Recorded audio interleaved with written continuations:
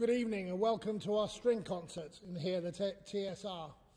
It's been quite an interesting term, really, because the last two years we've had no public exams, and so it's been almost like starting again, working out how we keep um, ensembles going through a busy exam term.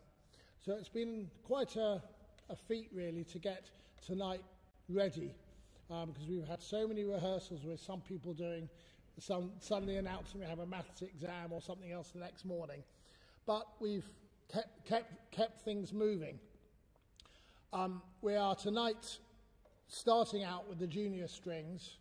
We've then got a group, as you can see, playing the Bach double, which is probably my favourite single piece of music in the world.